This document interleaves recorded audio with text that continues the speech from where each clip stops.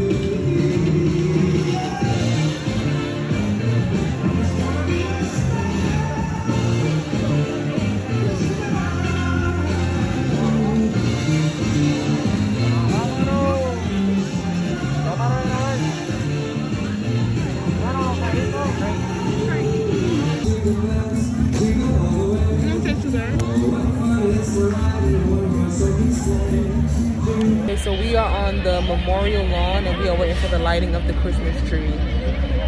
We just saw the little parade. That's the tree that's gonna be lit, I think.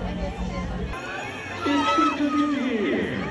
Can you see me up here? I'm so glad to see you. Merry Christmas to all of you. Lawn is a very special enchanted tree that will be perfect for our Christmas spirit. You see, a Christmas tree can be as cool and as comforting as the winter snow. Or it can be as colorful and as sweet as a candy cane. It's a gift that will shine so big and bright that it can be viewed from the heavens. But to me, the best kind of Christmas tree is something traditional. Just like the one Mrs. Claus always decorates at the North Pole. An enormous green spruce with help me stir up just a bit of Christmas magic to light up our enchanted tree. And I do mean all of us. That's me, you, you, and yes, even you. Every single good little boy look up into the sky and shout with all of our might. Dash away, dash away, dash away all. All together now. Are you ready? Dash away, dash away, dash away all. Look, oh, that's it, keep it going.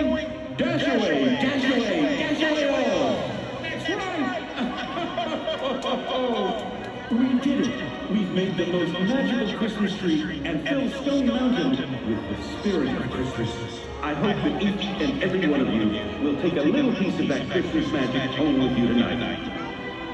And now, to all my boys and girls out there, as well as all those young at heart, there's only one thing left for me to say. Merry Christmas to all, and to all.